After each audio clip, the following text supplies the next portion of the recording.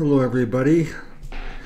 I am Brother Luke, and I felt there's an urgent need for me to make this video and ask that you all right now begin praying for Sister Renee.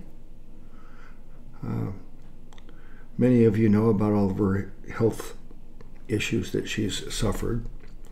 Um, one of the problems is severe back, hip, and leg pain caused from, um, in this case, the sciatic nerve.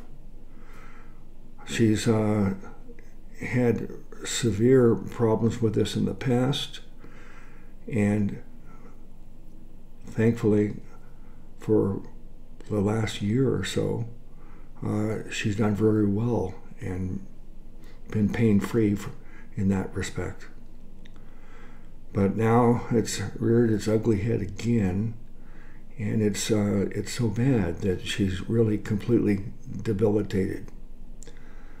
Um, for those of us who have had these kinds of pains, uh, we you can relate. Uh, it, it's so bad that you have to even take shallow breaths. You can't even breathe normally because if you take a normal breath, it uh, causes the pain to be so severe. It's like having a knife in you and being twisted. So that's what Sister Renee is suffering with right now. And uh, I've suggested she do several things to um, help with the pain, uh, but we all know that uh, we rely on prayer.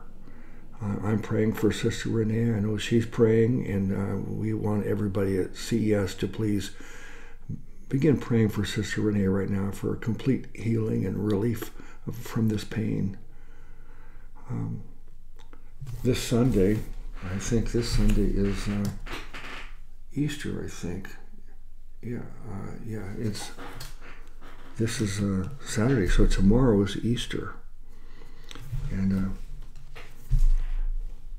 let, let, let's pray the Lord will give us a miraculous healing. And Renee's feels great, and she's going to be able to uh, join us tomorrow on Easter Sunday, feeling feeling great.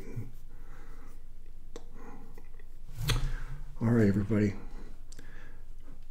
Thank you for your prayers. Bless you all in the name of our great Savior God, Jesus.